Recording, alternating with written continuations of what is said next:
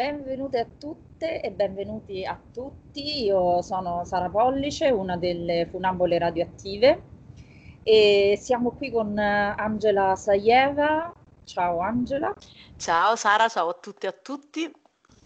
E che è un'attrice, una performer, una formatrice ed è una delle protagoniste del progetto La Casa Spiazza della Casa Internazionale delle Donne con la direzione artistica di Maria Luisa Celani, di cui Francesca Romana Miceli Picardi ha curato la parte appunto delle video performance. E, ehm, dunque, Angela, il tuo, il tuo, monologo si intitola Onde Medie ed è di Francesca Romana Miceli Picardi. Eh, io comincerei proprio da qui per la nostra chiacchierata, cioè mh, questa performance che poi parla appunto di, di corpi, di corpo, e è stata realizzata in un momento in cui appunto il corpo è assente, cioè è schiacciato in una dimensione di assenza o, o, o di precarietà.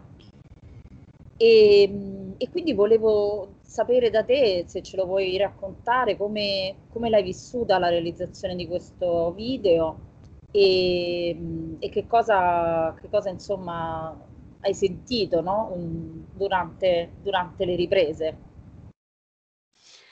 Guarda, mi viene la prima cosa che mi viene da dirti è che è stato praticamente quasi un anniversario, nel senso che siamo andati a girare praticamente a un anno dalla chiusura dei teatri, dal, dal lockdown eh, e, e- e tra l'altro veramente a due secondi prima dalla, zo- della zo- dalla zona rossa improvvisa in cui ci troviamo io e te adesso. Quindi ne parlo con un carico di nuovo di corpo schiacciato e di corpo mh, mm, che non sa in quali confini muoversi, che è una situazione veramente imprevista. Insomma, ecco, sono cose che ci diciamo da un anno, quindi su questo non mi sto a ripetere. Invece, eh, quello che è successo rispetto a questa mh, mm, performance che, insomma, che vedrete ehm, è che veramente è a, è a metà tra il teatro e il video. E, ehm, perché per ora mi è capitato di lavorare in quest'anno eh, registrando nascosta nella cabina armadio, mettendo golf eh, audio quindi podcast, voci narranti e quant'altro, e poi di, di, fare il mio lavoro di storyteller, di raccontastorie, così come stiamo facendo io e te adesso, cioè seduta sulla sedia cercando di coprire mezza casa, quindi in una situazione di corpo limitato e, e col terrore di sbattere il microfono sulla collana. Quindi. Invece... Ehm, aver preso la macchina, essere andata a provare Ehm, anche lì, sempre con questa incertezza, mi fermeranno e mi chiederanno dove sto andando. È una, è una situazione, insomma, ma essere poi entrata fisicamente, col corpo, con le emozioni, col portato poi di un monologo che racconta eh, in qualche modo quello che abbiamo vissuto. E, um, quindi averlo portato dentro la casa internazionale dove eh, dove chiaramente ho anche la mia storia personale e averlo portato dentro la foresteria, eh, dove ora le storie di tutte le donne che hanno abitato quel luogo preciso eh, non sono più e, e, la foresteria è in un momento veramente di grossa incertezza e di stallo e di sospensione, quindi entrare in questo luogo sospeso ma iperabitato è mm. stato notevole. Eh, quindi in questo tempo di attesa in cui mi sono messa sdraiata sul letto, aspettato, ripassavo la memoria, è veramente c'è un genius loci nei posti per cui non, non credo di essere stata da sola, ecco. E soprattutto perché anche il monologo non ero io da sola, non era eh, la cantante di cui raccontavo, ma sono tutte le, le, le donne, eh, le artiste, eh, le interpreti che si sono trovate in, che ci siamo trovate in questo momento di, di sospensione e anche di presa di contatto con sé diversa. Quando lei dice um, mi sono resa conto di non aver mai osservato veramente gli alberi. Io ho una fortuna che ho un figlio di sei anni, quindi da sei anni a questa parte osservo di nuovo nuovamente gli alberi perché li vedo con i suoi occhi. Però durante il lockdown, quando la prima uscita è stata molto simile a quella che racconta lei, cioè sono stati questi piedi molto pesanti, in un universo invece il mio veramente molto sospeso, molto grigio, mi ricordo questa prima uscita mm. con un tempo che, in cui pioveva, quindi veramente è stata complicata e in qualche modo questo poi succede, che riprendi dei, delle cose tue le trasformi per dar voce ad un'altra donna, ad un'altra persona che ne rappresenti tante altre, un po' l'universalità del teatro e poi del cinema, del mezzo, del video, del modo poi di arrivare nelle case. Eh, sì, io credo che diciamo, sia molto importante un progetto come questo in questo momento perché ci dà eh, la possibilità non solo a voi come artiste ma anche a noi come fruitori, fruitrici eh, di queste opere, di metterci in relazione con molte dimensioni eh, che invece resterebbero mute, no? Cioè, mh, come dire, ci, mh, ci, riguarderebbero ma soltanto in una dimensione personale e privata e invece attraverso il veicolo artistico, come sempre accade,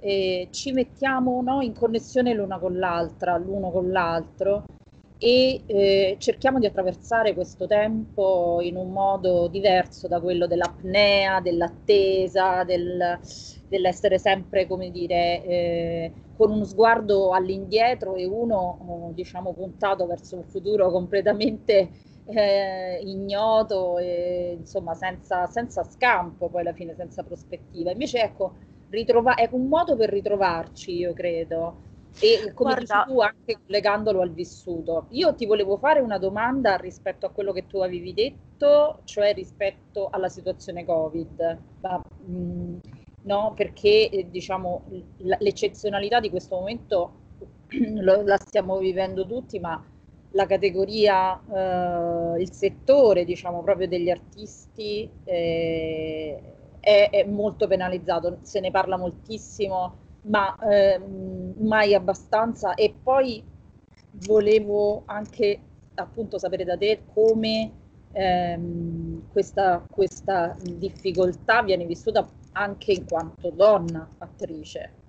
Eh. Guarda, mi riallaccio alla prima cosa che hai detto, che mi ha fatto venire in mente una cosa che per me è veramente basilare in questo momento.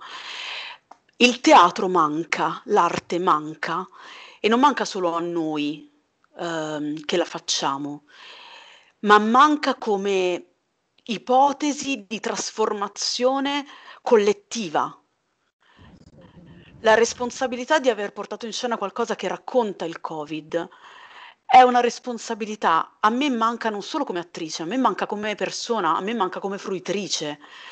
Cioè, eh, quando si dice riaprono i teatri, si pensa all'edificio teatro, il teatro non è l'edificio potrebbe mancare l'edificio, è relativo l'edificio, ma quello che manca è la possibilità di rielaborazione da parte nostra e da parte, virgolette, vostra di quello che sta accadendo, che è un evento spaventoso. E mm. ti faccio un esempio stupidissimo, mi sto guardando Grey's Anatomy che racconta il Covid, devo dire per quanto mi faccia male, mi fa bene, perché lo sto vedendo finalmente anche filtrato da, uh, dalla fiction, assolutamente verosimile, ma non solo bo- il bombardamento delle immagini reali, ma anche la possibilità di elaborarlo attraverso l'arte. Quindi si sta desautorando l'arte dal suo potere principale, che è il motivo per cui continua a esistere. Perché è, è, è, è veramente questo. Questo questo, e mi riallaccio alla seconda parte della tua domanda, in quanto lavoratrice dello spettacolo, in quanto donna, in quanto, e in quanto formatrice, fa un crash che non te lo sto neanche a raccontare, nel senso che stiamo lottando veramente da quando è accaduto, anche con una consapevolezza nuova e diversa, di cui sono non grata, perché grata non sono al Covid, però a, cui sì, attribuisco questa possibilità di aver visto le cose, di aver scoperchiato un vaso di Pandora e di averci portato insieme. Però ti dico, io mi cerco nei laboratori come formatrice, faccio trovarmi, perché sembra che io faccia un lavoro altro, ma io insegno quello che faccio e non ho, tu- non ho a quel punto tutele né da una parte né dall'altra. Come madre ti posso dire, quest'ultima chiusura delle scuole assolutamente mm, almeno su Roma, almeno per la mia esperienza con la materna di mio figlio pubblica,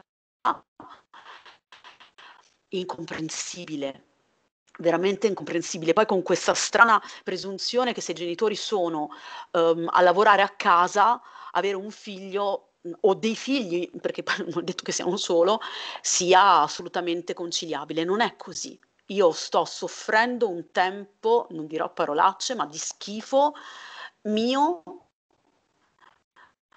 uh, del mio lavoro e del tempo che dedico a mio figlio, perché è tutto fatto adesso con la cosa che lui adesso è da solo di là che può entrare in qualunque momento, cioè sembrano sciocchezze, però non è così.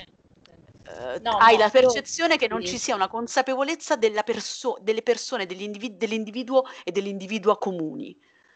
Infatti io penso, Angela, che una delle parole più importanti che, che possiamo dire che tu hai pronunciato è responsabilità, nel senso che veniamo in qualche modo un po' schiacciati da quest'idea che il Covid ci ha travolto e quindi noi non abbiamo nessuno strumento. Questo non è vero perché eh, avevamo invece prima del Covid degli strumenti che sono possibili, cioè che, che possiamo assolutamente recuperare e mettere al servizio di questa nuova elaborazione che ci serve fare. Ecco, quindi eh, se il femminismo ci ha insegnato qualcosa e eh, la Casa Internazionale e la Casa Spiazza, insomma i progetti che, che facciamo all'interno, che agiamo all'interno è, di, della casa, so, è proprio che dobbiamo prendere parola, cioè dobbiamo prendere parola e affermare con forza che noi questi strumenti di elaborazione ce li abbiamo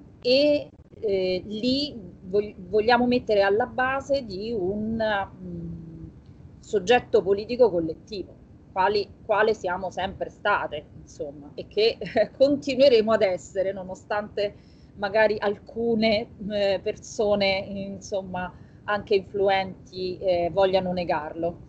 Uh, detto questo, mh, mm, eh, Angela, io chiuderei ma un paio di minuti se, se ti va. Uh, quali sono uh, proprio le affinità tra te e la protagonista del monologo e eh, proprio in questo tempo, no? Cioè così, eh, e quali le differenze, ma proprio in una battuta se ci riesci. Guarda, la prima affinità mi viene troppo da ridere sono i capelli. Perché quando l'ho letto, la prima battuta è i capelli mi stanno malissimo. Ho detto, cioè, stamattina, stanotte, perché poi abbiamo cambiato ora del giorno e della notte in cui, provava, in cui registravamo. Ecco, oggi sono la riprova esatta in cui si può andare online con dei capelli terrificanti e con la mollettina dei 5 anni per cercare di salvare un riccio che non si è formato. Uh, però dietro questo, che sembra mh, mm, banale e superficiale, c'è anche tutta una mh, uh, rap- rappresentazione di sé, esposizione di sé, che il video, devo dire, uh, io per esempio sono un'attrice timida, eh, io non amo essere fotografata, per cui in questo momento c'è una sovraesposizione pazzesca da questo punto di vista. Per fortuna ho riquadro alla mia destra che non vedo, guardo il puntino verde, quindi non so che cosa stia succedendo nella mia faccia, ma poi avrò il momento del, tra l'altro, lockdown, 12 kg in più. Anche questa cosa è e ti devo dire, questo non c'è nel monologo, mi viene da dirtelo ci tengo a dirlo.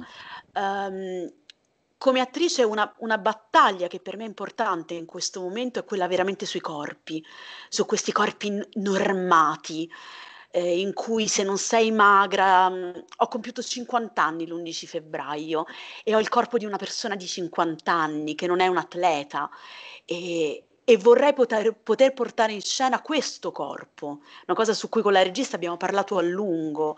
Um, le, le, cicce, le, le non tonicità, uh, le irregolarità, che però quando io vedo, io mi ci riconosco. Quando vedo solo eh, questo anelito di perfezione che tra l'altro in ogni tempo cambia, però in qualche modo sempre di più irreggimenta e, mm, e, e veramente det- mm, decostruisce, cioè danneggia, danneggia. Ecco, su questo ci tengo particolarmente. Um, Benissimo. L'orgoglio dei nostri corpi. Ci ho messo due minuti a tirarla fuori. Va bene, felice di poter chiudere con questo, ecco. Sì, sì, io direi che proprio, cioè, se, se, se qualcosa veramente abbiamo imparato dal Covid è proprio di applicare alla perfezione perché abbiamo incontrato un grosso limite e quindi ce ne siamo, ce ne dobbiamo fare carico, insomma, ce ne dobbiamo rendere conto e vivere un altro tempo. Io ti ringrazio tantissimo Angela e mm, non vediamo quindi l'ora di vedere il video e, mm, e, e speriamo appunto di, di ritornare quanto prima in presenza ad agire con i nostri corpi, insieme ai nostri corpi e, ed agire anche di incontri, insomma, no? E di abbracci, Io. senza paure. sì, esatto. Sì, assolutamente sì. Grazie Angela. Grazie, grazie mille. Grazie.